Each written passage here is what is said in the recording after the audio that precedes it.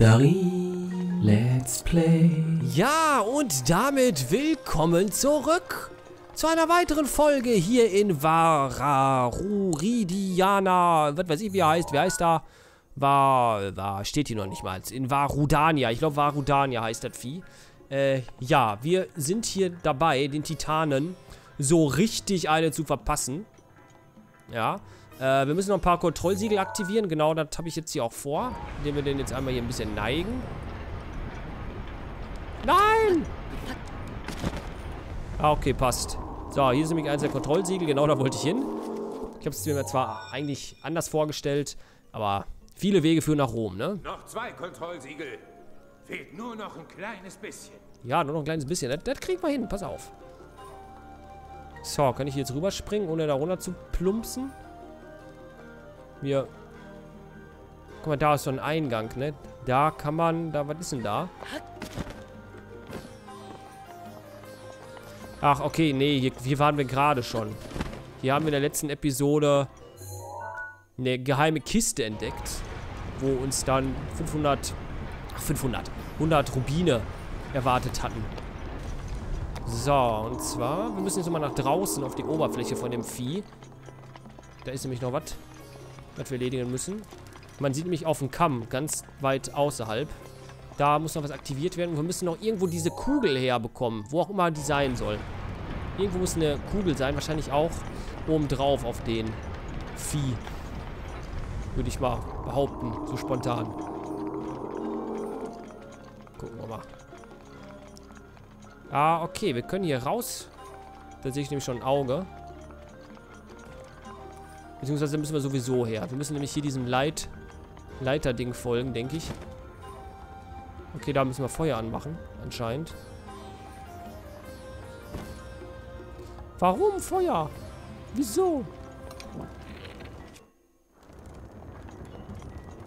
Da unten ist ein Auge. Mach mal kaputt. Und hier war noch irgendwo ein Auge. Das ich von hier nicht sehen kann. Auch doch da. Da, ich sehe es. So. Auf Wiederschauen. Verderbnis. Da vorne ist eine Truhe. Die holen wir uns definitiv. Ah, okay. Das hier ist das Ding, was wir am Ende aktivieren müssen. Direkt auf seinen Rücken. Ähm, der andere Schrein, der ist auch hier irgendwo anscheinend. Wenn ich mir die Map so angucke. Ach da, wir gucken genau davor. Okay. Das kriegen wir hin. Können wir jetzt hier rüber klettern. Boah. Einmal die Truhe holen. Und zwar... Antiker Reaktorkern. Ja, warum nicht? Und guck dir mal den fetten Vulkan an. Boah. Wir sind da mittendrin. Wir sind mitten im Vulkan. Oder zeigt man die normale Map an? Geht das? Ähm... Nee, geht nicht. Schade. Wir, wir können uns nur... Ist ja, ist ja egal. So, jetzt müssen wir das hier noch einmal drehen. Dann können wir hier drauf rumlaufen. Hehe. Dann können wir damit jetzt da vorne den nächsten Kontrollsiegelpunkt aktivieren. So, vielen Dank. Schickerstein erkannt. Ja, sehr gut. Okay, jetzt müssen wir noch irgendwie da unten bei dem einen Punkt. Ah, hinten am Schwänzchen sehe ich gerade eine Truhe. Da laufen wir mal hin.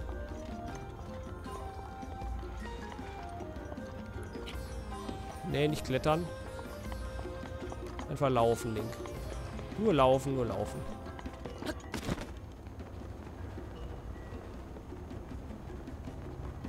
Genau, perfekt. Öffnen. Und was haben wir da Schönes? Antike Schraube hat sich richtig gelohnt. Meine Güte. So, dann nochmal zurück. Ah, okay, hier ist der Eingang. Hier haben wir das Vieh betreten. Macht auch Sinn, hier ist der Teleporter-Punkt. So, die Frage ist... Wie machen wir das jetzt? Wir brauchen anscheinend Feuer. Wir brauchen Feuer von dem Ding. Und da muss ich jetzt drehen. Also beides. Äh So, schnell, schnell. Hoffentlich hält die das aus. Da draußen war nämlich eine blaue Fackel. Die müssen wir bestimmt aktivieren. Die ist ja nicht umsonst da. So ein Fackelständerchen. Schneller, bevor uns die Bockkeule wegflattert.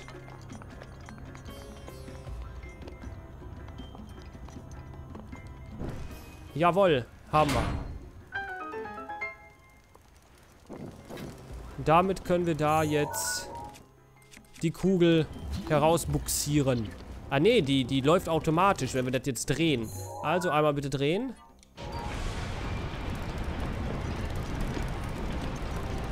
Genau, bitte jetzt. Bewegen Sie sich jetzt. Ja, sehr gut, sehr gut.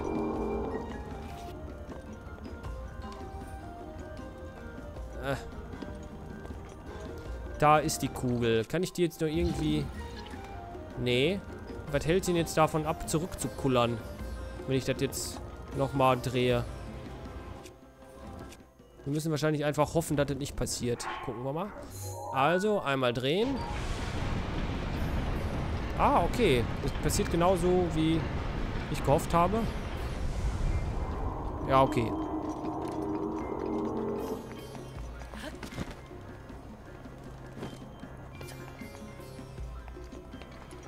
Ja, so, jetzt ziehen wir das hoch. Und dann fällt die Kugel da unten rein. Und voilà, irgendwas passiert jetzt. Ja, die Tür geht auf. Sehr gut. Sehr, sehr gut. Damit haben wir, den, ja, damit haben wir den Palast dann schon abgeschlossen. Der war ja einfach. Schiegerstein erkannt. Alle Kontrollsiegel sind gelöst. Jetzt schmeiß noch die Steuerungseinheit an. Mache ich. Siehst du auf deiner Karte einen großen leuchtenden Punkt? Da musst du hin. Ja, ich weiß, wo das ist. Aber bleib wachsam, Bruder. Ja, natürlich.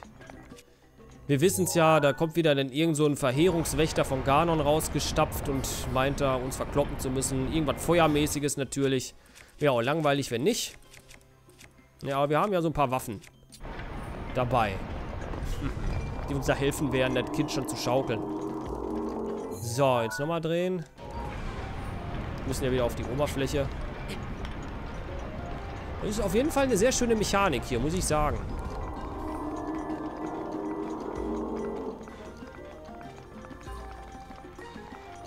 So, tonmäßig müssten wir auch alles gelootet haben eigentlich. Hm. Ja. Ich denke schon. Ich bin da sehr positiv eingestellt. Hm. So, jetzt nochmal gedreht. Und dann sind wir schon auf dem Rücken.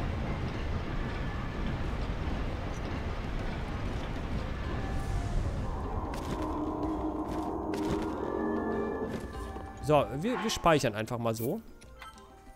Nicht, dass ich Angst habe, dass wir den Gegner nicht schaffen. Aber, hm. So, wir müssen auf jeden Fall auch ein Foto machen, dass ich das nicht vergesse. So, und dann aktivieren wir mal dieses komische fette Zwiebelding oder was da noch immer ist.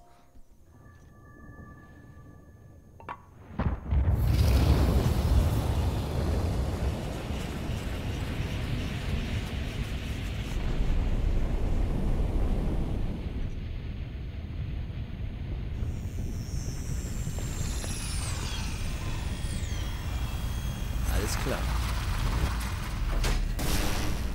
Oh. Fette Axt. Feuer in der Hand, klar.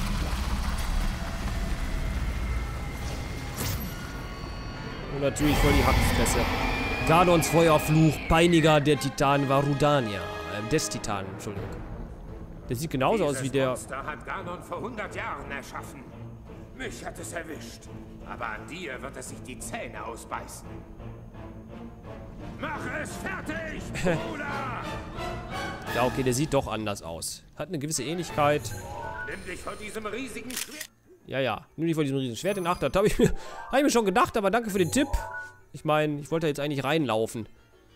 Äh, der Teil von Ganon, der mit den Titanen Rudania angriff, mit seinem riesigen Schwert und der Kraft des Feuers tötete Daruk einen der Ringe.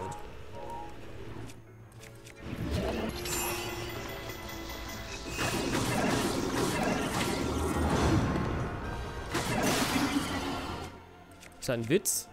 Oder was?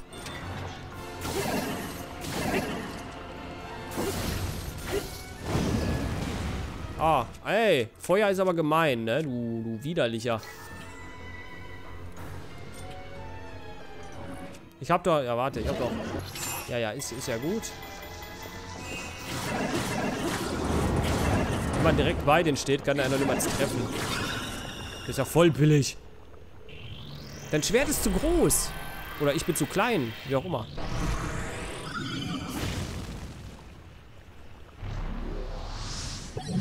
Ja, okay. Jetzt hat er sich ein Feuerschwert gezaubert. Pass auf seine Feuerbälle auf. Die sind brandgefährlich. Ah!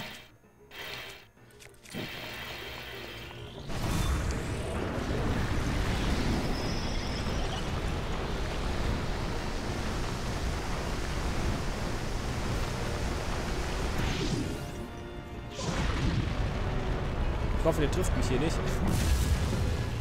Ja, okay, ein bisschen, ein bisschen tut's weh, aber ist ja in Ordnung. So, ähm, die Frage ist, was muss ich machen? Der hat ja jetzt so eine Art Schutzschild. Kann ich da einfach durchballern irgendwie? Was habe ich keinen... Achso, doch. Ach, das war gute Kochobst.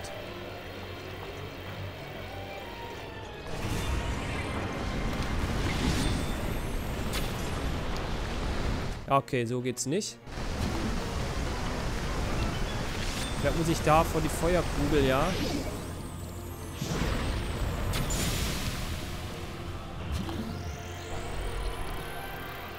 Ha, okay. Oder muss ich das Ding zurückschubsen? Ich weiß es nicht. Wir versuchen mal mit einem normalen Pfeil die Feuerkugel zurückzuschubsen, falls das geht.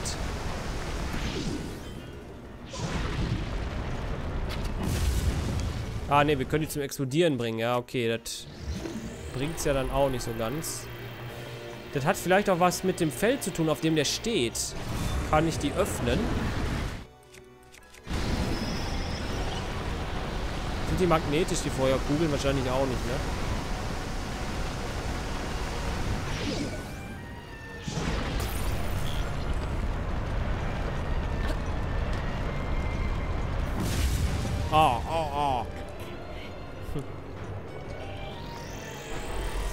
Ja, sein Schutzschild ist jetzt das Problem an der Sache.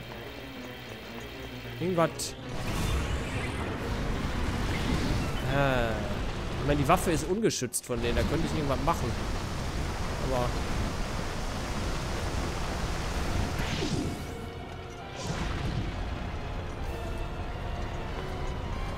Normale Angriffe bewirken jetzt nichts. Ja, das hätte ich nicht gedacht. Das sind Hinweise, die der mir gibt. Meine Güte.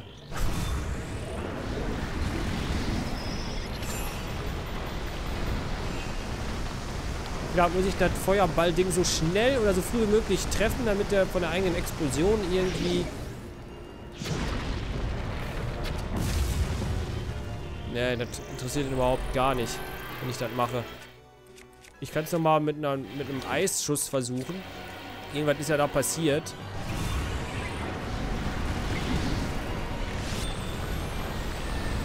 So früh es geht, sobald das Ding die Kugel verlassen hat.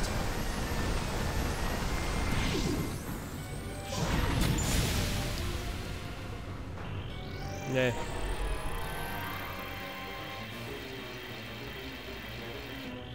Ja.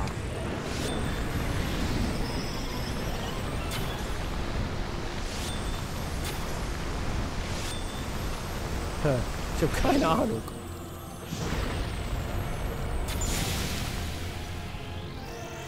Ähm. Ob ich das damit beeinflussen kann? Wahrscheinlich auch nicht.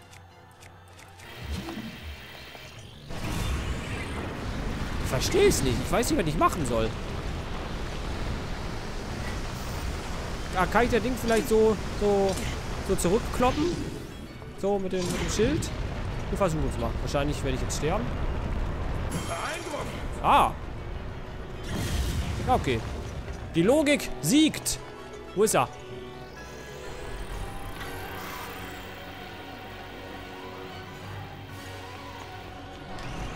Ah, da. Okay, er hat sein Schild verloren, alles klar. Das ist deine Chance, Bruder! Ja. Der hängt schon wieder so ganz doof in der Luft fest, dass ich den nicht treffen kann. Oh, ey. Nee, ich esse jetzt nichts.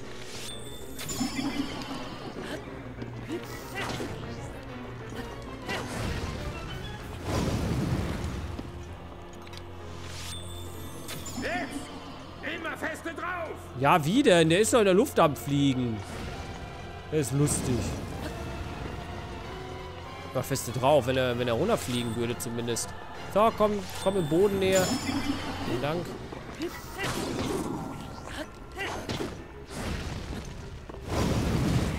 Ah,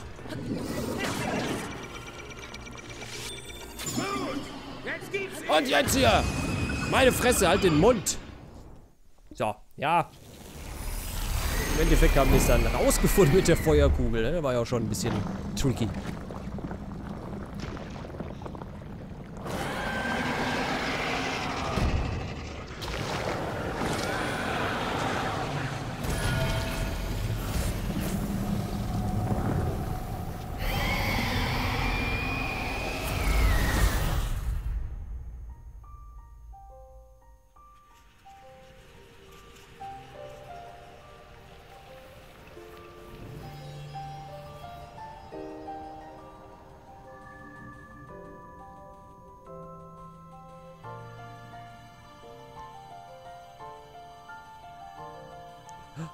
Herzcontainer. Lang ist es her.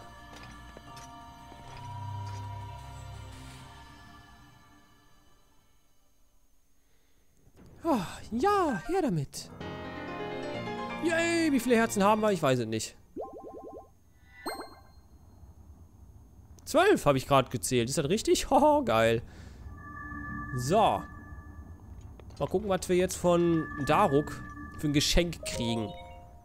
Damals war es ja Mifas Gabe. Ist es diesmal Daruks Gabe oder so? Wenn die Steuerungseinheit aktiviert wird, kannst du diesen Titan nicht mehr betreten. Aktivierung dann noch fortsetzen? Ja, wir sind hier soweit fertig, würde ich sagen. Aktivieren. Selbst wenn da irgendwo noch eine Truhe war. Gut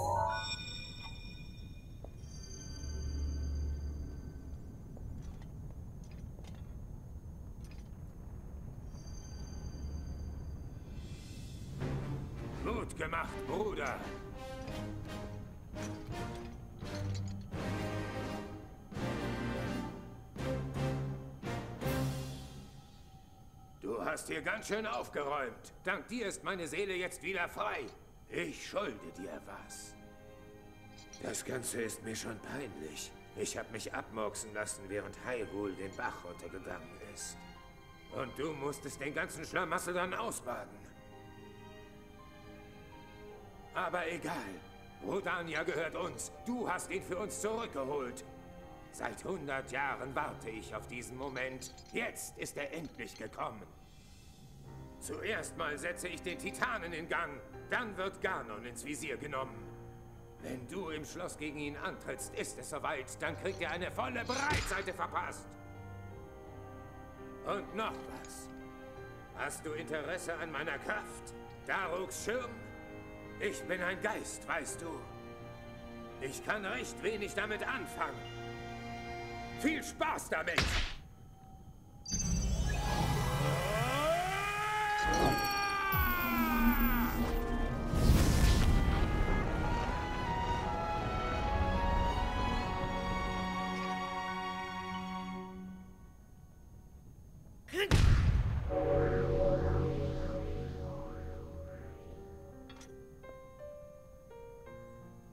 Denk immer daran.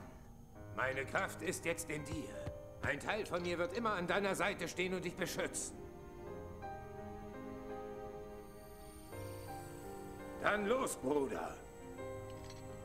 Kümmer dich um die Prinzessin.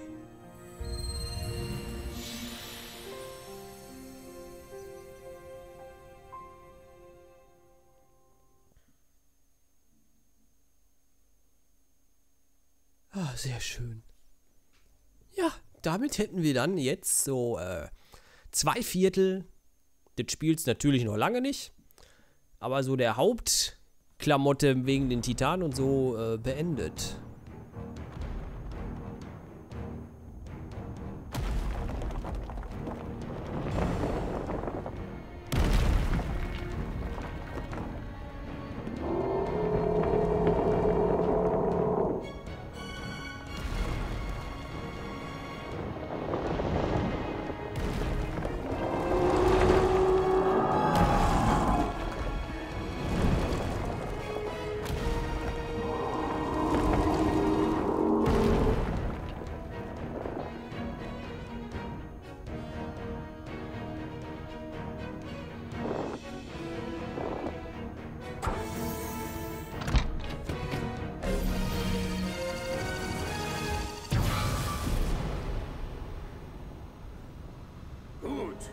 Damit sind wir bereit.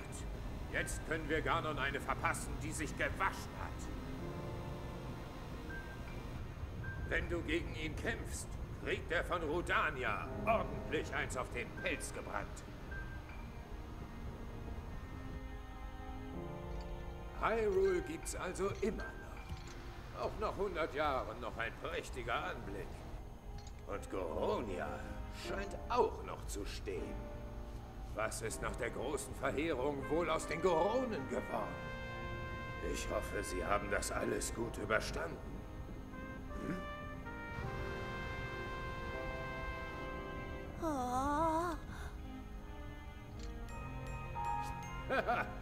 Sieh mal an. Scheint ja alles in Ordnung zu sein.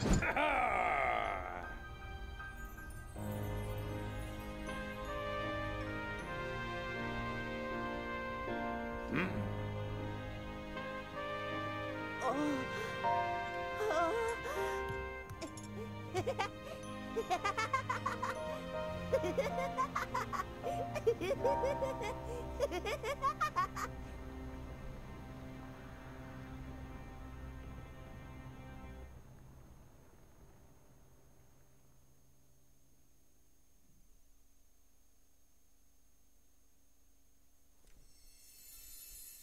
Ah, sehr schön. Was ein Service. Direkt mit Teleport zurück nach Goronia. Ich wollte mich da eigentlich noch umgucken. Daruks Schirm. Ah, enthält die schützende Macht Daruks. Sie wird automatisch aktiviert, wenn du von einem Angriff getroffen wirst, während du ZL... Was ist ein ZL? Äh, warte mal, muss ich mir die Knöpfe angucken. ZL? Ah, so, ja. Gedrückt hältst. Also, da macht gar keinen Sinn. Ah, so. Ah, okay, das ist so eine Schilderweiterung im Prinzip. Okay, sehr cool. Immer wenn ich Schild drücke, dann hier. Und ich habe wohl drei Aufladungen, steht da oben. Da muss ich mir mal angucken. Also im Prinzip so eine extra Schildklamotte. Äh, ja. Cool. Guck mal, was die kann. Da bist du jetzt aber platt, ne? So, jetzt gehen wir noch unsere Belohnung abholen hier. Ah, hier. Ah, hallo, vielen Dank, dass du Rudania für uns besänftigt hast. Ich weiß nicht, was du im Inneren von, Rudania gemacht hast, aber es sieht aus, als hätte er sich beruhigt. Eben habe ich oben auf Rudania den großen Daruk stehen sehen. Wahrscheinlich habe ich mir das nur eingebildet, oder? Aber wie dem auch sei, das hat mir jedenfalls neuen Mut gegeben. Äh, da fällt mir ein, als ich dem Chef von dir erzählt habe, meinte er, ich soll dich zu ihm bringen. Das war ein Befehl vom Chef, also gibt's keine Diskussion. Komm mit. Klar, ich wollte sowieso zu ihnen hin. Aber jetzt kannst du rollen, ne? Hast du gerade auf den Weg gelernt, oder? Da, da, da. Guck mal, sogar Pfeile für uns auf den Boden gemalt, damit wir wissen, wo wir hinlaufen müssen. Hey, Operchen, nee, ich brauche keine Übernachtung. Hallöchen. Bludo. Oh, hallo, Junodo hat mir alles erzählt. Der Hylianer, der Rudania besiegt hat. Ja, ich muss zugeben, ich bin beeindruckt. Nicht zu glauben. Und das, wo ich meine Rückenschmerzen, äh, was? Und das, wo meine Rückenschmerzen weg waren und ich mir Rudania vorknüpfen wollte. Ja, klar, natürlich. Glaubst du selber nicht. Guck mal, der hat schon so einen kleinen, äh, Hitlerbart, ne? Wenn man, wenn man da so mal hinguckt, so da unter der Nase, das ist schon so ein kleiner Ansatz. Das ist schon, äh, bedenklich, so ein bisschen. Jetzt sehe ich wegen dir so aus, als hätte ich die Rückenschmerzen nur simuliert. Achso.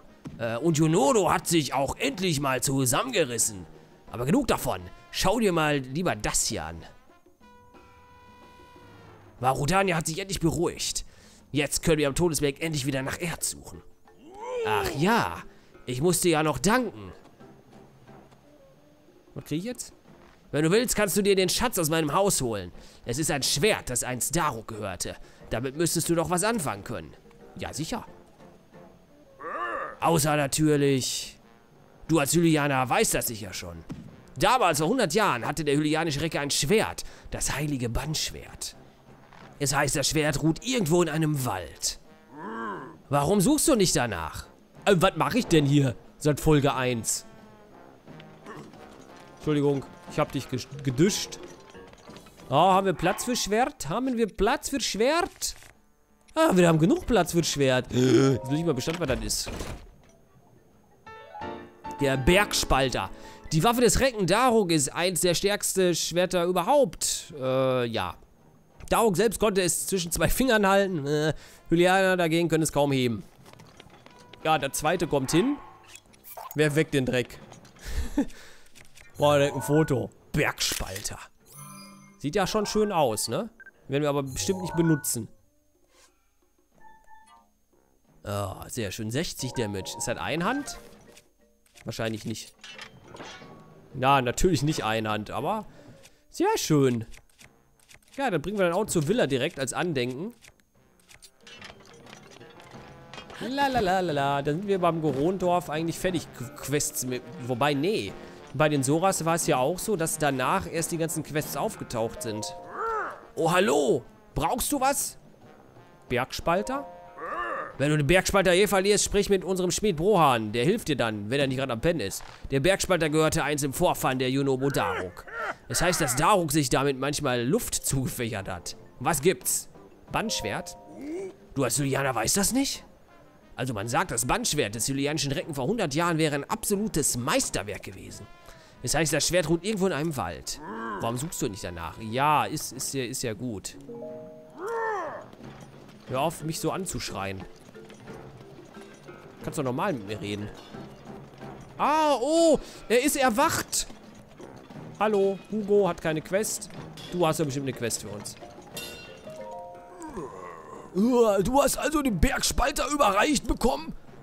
Und ein kleiner Wicht wie du willst wirklich mit dem Schwert des mächtigen Darung umgehen können? Aber gut. Wenn der Bergspalter zerstört wird oder abhanden kommt, kann ich dir kein, äh, kann ich dir einen Ersatz anfertigen. Dazu brauche ich aber Materialien. Bring mir einen Steinspalter, fünf Feuersteine und einen Diamanten. Ne? Das ist kein Problem. Machen wir, machen wir, machen wir, wenn es dann soweit kommen sollte. Was ich nicht glaube. So, sehr gut. Hey, kleines Kind, bleib stehen, bleib stehen, bleib stehen. Hast du noch Quests für mich? Nein, hat er nicht.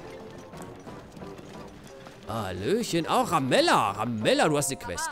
Sobak, willst du mit mir am heiligen Tag den Hof machen? Nicht wirklich. Oh, zu schade. Wer bist du? Ich heiße Ramella. Wie du sehen kannst, bin ich aus Gerudo. Ich kam hierher, um Juwelen aus Goronia zu sammeln. Der Todesberg bricht nicht mehr aus. Daher kann ich jetzt endlich wieder meine Edelsteinvorräte aufstocken. Ach ja, hast du vielleicht Bernstein? Äh, dafür brauche ich eine ganze Menge. Bring mir 10 Stück und ich gebe dir einen besseren Preis dafür, als du in einem Laden bekommen würdest. Hier, ich habe mehr wie 10, ich habe 140 oder so. Ah, in dieser brennenden Hitze Edelsteine zu sammeln, bringt mich noch um den Verstand. Hast du vielleicht 10 Stück Bärsteine? Wenn du sie hast, würde ich sie dir verkaufen. Dann würdest du sie mir verkaufen. 10 Bernsteine. In einen Laden würdest du dafür 300 Rubine bekommen. Ich gebe dir 500. Verkauft. Sark, Sark. Äh, danke, das hilft mir weiter. Schönen Dank. Hier sind deine 500 Rubine. Ach guck, wie sie sich freut. Andere Edelsteine kaufe ich auch, also bring mir ruhig mehr. Immer 10 Stück auf einmal. Welche Juwelen ich brauche? Tja, das ändert sich von Zeit zu Zeit. Edelsteinimport geschafft. Was willst du denn jetzt haben? Ah, diese brennende Hitze ist unglaublich. Also, hast du nicht zufällig 10 Rodonite? In einem Laden würdest du 2100 kriegen. Ich gebe dir 3000. Also ein bisschen mehr. Komm, hier. Sarg, Sarg. Hier. Boah, wir werden voll reich an der Frau. 10 Rodonite? Verkaufen. Was redest du denn da? Du hast ja gar keine, du Spinner. Bis später. Wie, willst du jetzt wieder Rodonite? Bla bla bla. Saphire. 3, 2, 1, deins. so. Nee, nee, ich habe keine mehr. So, jetzt will sie Topase, pass auf. Ja, ist ja gut hier. Rodonite? Nee, haben wir nicht. Tschüss. Muss man immer mit der neu reden? Hat die jetzt vielleicht wieder was Neues? Nee, okay. Die will jetzt erst wieder Rodonite haben. Haben wir nicht. Aber wir haben schon mal unseren Edelsteinvorrat äh, ein ganzes Stückchen aufgestockt. Das ist ja schon mal Nee, ich will nicht übernachten, Opa. Hör auf, hier rumzubelken. Sehr cool. Ja, meine Freunde, wir haben es geschafft. Wir haben Goronia und damit auch Hyrule äh, gerettet. Also Hyrule ist noch nicht ganz gerettet, aber Goronia, der ganze Todesberg hier, die Eldin-Umgebung, die ist schon mal aus dem Gröbsten raus, würde ich sagen. Genauso wie die Sora-Umgebung. Fehlen jetzt nur noch zwei weitere. Ähm, einmal Gerudo, das ist ja klar. Und das andere ist keine Ahnung, was das angeht. Ah ja, die Vogelmenschen. Die Vögel hätte ich jetzt fast vergessen. Also die Landschaft der Vogelfiecher, ich weiß nicht, wie die heißen, und die Gerudo-Leute. Die müssen wir noch retten. Und dann ist Hyrule auch gerettet und dann ist Ganon dran und das kann ja nicht mehr allzu lange dauern. Gib mir 100 Episoden. Nee, das kommt nicht hin. Gib mir 200 Episoden, ja, vielleicht schon eher. Ja, äh, werden wir sehen. Das war es auf jeden Fall für dieses Mal. Äh, in der nächsten Episode werden wir uns dann, oder in den nächsten Episoden, werden wir uns dann Elden hier nochmal genauer angucken. Es gibt ja noch so viele Orte, wo wir gar nicht waren. Und die Detailerkundungen müssen auch noch stattfinden. Also das wird noch... Das wird noch äh, ein paar Episoden dauern. Fünf bestimmt, mindestens, würde ich mal behaupten. Gut, alles klar. Das war's. Ich verabschiede mich. Bis zum nächsten Mal. Ciao.